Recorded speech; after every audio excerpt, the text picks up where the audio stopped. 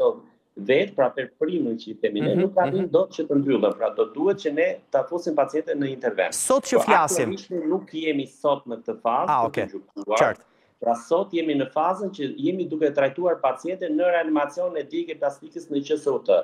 Pra që është një pacient, sigurisht që ka një risk, por unë besoj që risku për jetën ka dalë. Pra pacientja nuk rrezikon më pra, jetën. Pra nuk rrezikon më jetën, e kuptoj. Ja, nuk rrezikon. Okej, okay, pacientja në eksperiencën tuaj me me po. me, me sëmundje shoqëruese, por duke qenë subjekt i ri, okay. ne kur thoni sëmundje shoqëruese, çfarë mund të rrezikojë në këtë rast? Nga eksperienca juaj, ju vetë si e kategorizoni? Sigurisht, hepari, veshkat mund të futen në lojë, gjithçka mund të futet në lojë.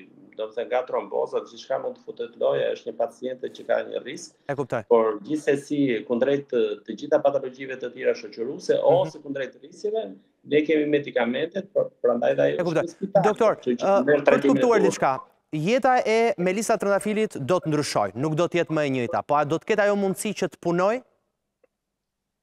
Atëherë, a do të ketë mundësi? Sigurisht që unë besoj që ajo do të ketë mundësi për të punuar, sigurisht që atë mund ta ndjekë trauma gjithë jetën, mm -hmm. ana vizuale dhe dhe dhe dhe ato shenjat që do të mbeten nga djegia, prandaj dhe djegia është një traumë e madhe, mm -hmm. qoftë psikologjike, qoftë edhe fizike. Mm -hmm. Ne shpresojmë shumë që ajo mos të ketë dëmtime motorike të duarve dhe të gishtrive, mm -hmm. që hap pas hapi do të gjykojmë se si do të ecë ecuria e saj. Nga eksperienca jonë deri tani, po? deri tani në mjekimin që ajo ka marrë, ne jemi të kënaqur pra në ecurinë e, e trajtimit dhe të mjekimit.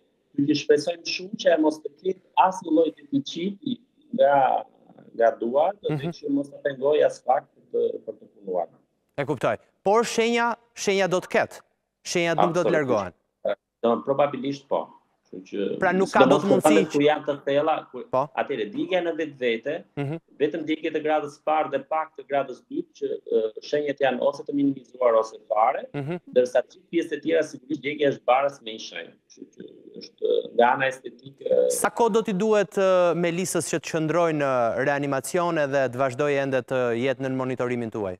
Atëherë minimalisht ne duam tre javë që të gjykojmë nëse ka nevojë për plastikë apo jo.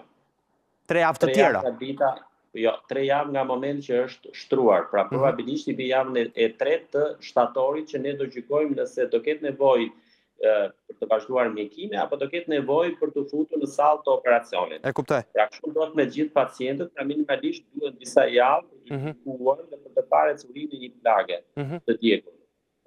Probabilisht djegiet, djegiet janë plagë të thella dhe duke qenë të thella kanë vështirësinë e vet për t'u mbyllur dhe ne jemi të detyruar që të futemi në operacione dhe të bëjmë intervente për të Por kjo ndodh pas javës së tretë të shtatorit në një farë forme. Absolutisht. Po. Okej, pra do shohim do shohim se çfarë ndodh në vazhdim edhe më pas do të kuptohet më shumë. Atëherë Melisa merr trajtimin medikamentoz, mm -hmm. sigurisht që trajtohet edhe nga psikologët e QSUT-së, sigurisht që trajtohet nga stafi